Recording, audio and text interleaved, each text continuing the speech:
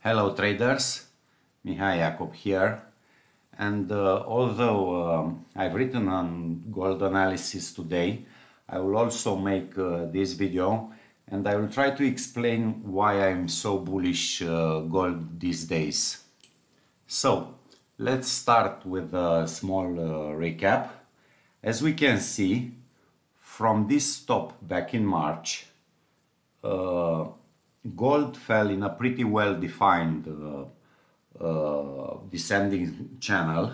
How, however, although we have this very important break of this level of uh, uh, support, if you look uh, back on a longer time frame chart, you'll see the importance of this level of support. as I said, although we have this break under this support, gold lacked confirmation and uh, couldn't uh, fell under uh, 1600 uh, figure. Instead, it made this, you can see, this very small uh, double bottom formation and reverse strongly and we have this uh, break. This break is a very important break. Why? Because it's the confirmation of this small double bottom. It's a break above the falling trend line and also this break confirms this as a false uh, down break. Also, if we look at the weekly chart, we can see that after this breakup, we have a very strong weekly candle. You see, it's more than a, a thousand pips uh, rise. Also, looking at this weekly chart, we can see that after gold touched this uh, level of resistance, a very good level of resistance as we can see. These are supports and now it's resistance.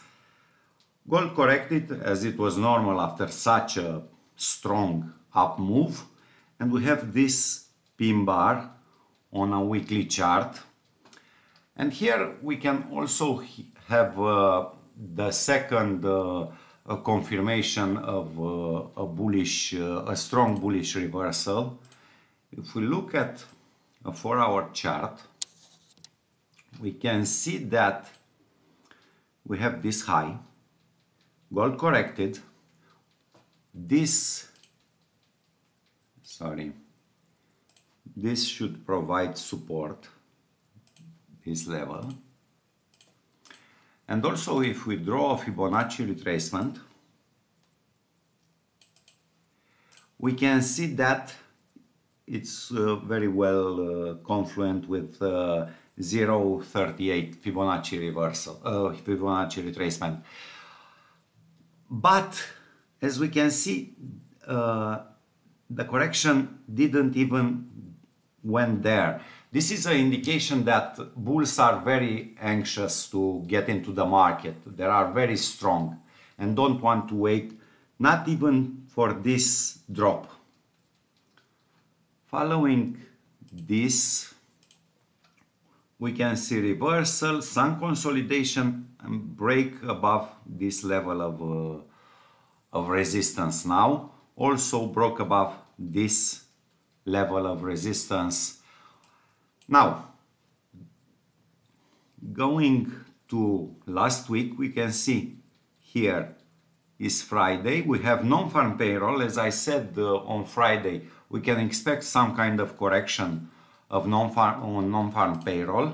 I expected a drop here, but as we can see, again, bulls were very anxious to go into the market and uh, the correction was a very small correction to this level of uh, now support.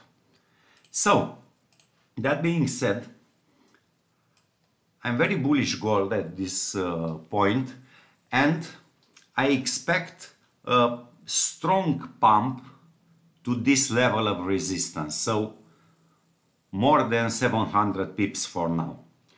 My strategy for gold uh, uh, these days, uh, the coming days, will be to buy dips. Uh, only if gold goes under this level of support now, I will reconsider my strategy. And as target, this is the target, as I said, 18, 18, 1870 or so. That's it for today's video. Thanks for much. Uh, thank you for much, very much for watching. Sorry.